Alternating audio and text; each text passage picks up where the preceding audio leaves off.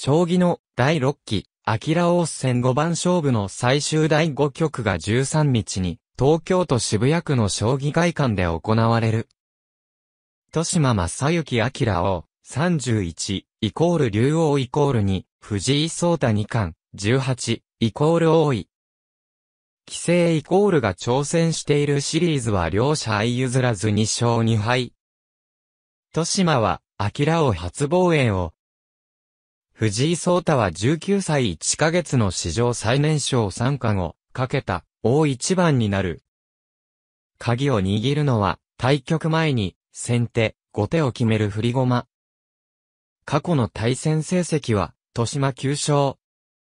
藤井聡太7勝と拮抗しているが、先手が10勝、豊島6勝。藤井聡太4勝6敗とリードしている。将棋は先手がわずかに有利な競技とされているが、両者のように相居飛車戦の最高水準の対局では、先手番が主導権を握る傾向が強い。藤井聡太は5度目のタイトル戦で6回目の振り駒。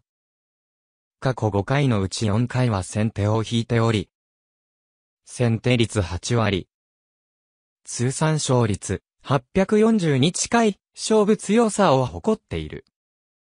記録係が5枚の歩をサイコロのように振って、3枚以上の歩が出たら、アキラ王の豊島が先手。3枚以上のと金が出たら、挑戦者の藤井聡太が先手となる。藤井聡太は勝利して、アキラ王のタイトルを獲得すると、19歳1ヶ月の三冠となる。1993年に、羽生善治球団50が記録した22歳3ヶ月の最年少三冠記録を28年ぶりに更新する。豊島は勝利すると、明王初、防衛。藤井聡太にとって、5度目のタイトル戦で、初めての敗退となる。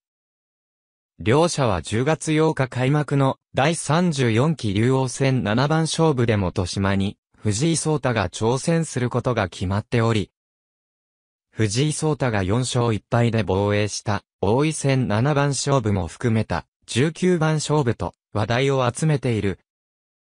勝負界の現在のみならず、未来を見据えた上でも極めて大きな意味を持つ一戦となる。藤井聡多増感化。豊島正幸防衛か将棋明王戦13日に最終局将棋の藤井聡太2冠イコール王位、規制イコール19が、豊島正幸明王31、2度む第6期、明王戦5番勝負の第5局は、13日午前9時から東京都渋谷区の将棋会館で指される。両者。2勝2敗。藤井聡太二冠が三冠となるか。豊島明王が初防衛か。注目の大一番を迎える。第4局は、豊島明王が解消し、決着を最終局に持ち込んだ。第5局で、藤井聡太二冠が勝てば、自身最多の3タイトルを同時に保持。最年少の19歳1ヶ月で三冠となる。追いついた、豊島明王は、タイトルを死守できるか。明王戦5番勝負は1日制で、持ち時間各4時間。先に3勝を挙げた騎士には、明王の称号が与えられる。弱い人から出るべきかと、藤井聡対応意、規制。激レアな弱気発言が、ファンの話題に、ソータの自虐、最強の間違いだろ W 負けるだけでも珍しいのに。こんな弱気な姿は、激レアだ。プロ将棋界唯一の団体戦、おからいお茶プレゼンツ第4回アベマトーナメントの本戦トーナメント準決勝第2試合。チーム藤井聡太とチーム菅井の対戦が9月11日に生放送され、チーム藤井聡太がチーム菅井にスコア5から2で勝利。決勝進出を決めた。チームリーダーの藤井聡対応位、規制19も、2勝1敗と活躍はしたが、試合の流れを決める第1局で敗れたせいか、すっかり意気消沈。自身2戦目となる第4局の前には、弱い人から出るべきかと、何かアドバイスがあれば、と、自虐的なコメントまで発し、これが、ファンの間で話題になった。藤井聡対王位、規制といえば、対局があれば、必ず放送があり、対局後にはコメントを求められる、超人気騎士。強気な発言をするタイプではないが、かといって弱気でもなく、謙虚に言葉を選びながら話す。強いて言えば、自分の評価に厳しく、ただ、それが成長にもつながっているという見方が多い。ところがこの日は、気心知れたチームメイトに囲まれて、普段以上に元が出たか。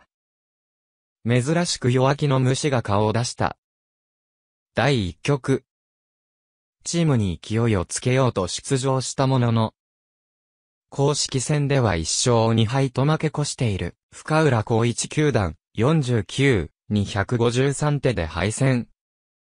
この結果に、対局後の作戦会議室でもすっかり落ち込んだという様子が伝えられていた。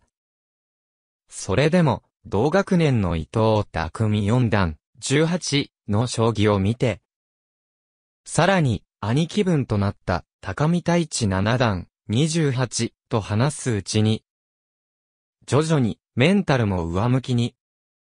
そして迎えたのが第4局だ。藤井聡対応位、規制。伊藤四段。貢献七段と順番通りに出場し、チームがスコア2から1という状況。会議でなかなかオーダーが決まらない中、うーんとやっぱり弱い人から出るべきかとと。ここまで唯一の黒星を喫していた自分のカードを手に取ると、早速貢献7段から、いやいや、一番強いからと、笑顔のツッコミが入った。視聴者も、ソータの自虐 W、最強の間違いだろ、W、だいぶ卑屈になってる、W、弱気も可愛いソータ、自虐できるほど仲良くなったかと、大盛り上がりになった。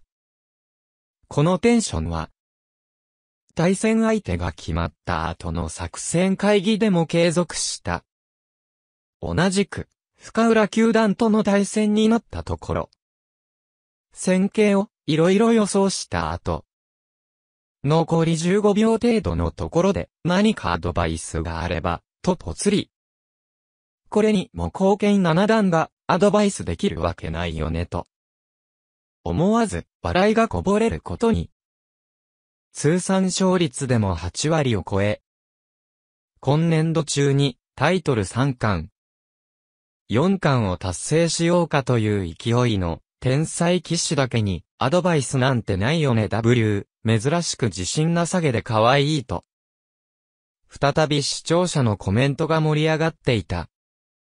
明日13日には、アキラ王戦5番勝負で、豊島正幸アキラ王、竜王。31と、決定局となる第5局で対戦。勝てば、史上初の10代3冠となるが、素顔を見せ、リラックスしながら戦った効果は、大事なタイトル戦の一曲にもいい影響を与えるか。次のオーディオビデオでお会いしましょう。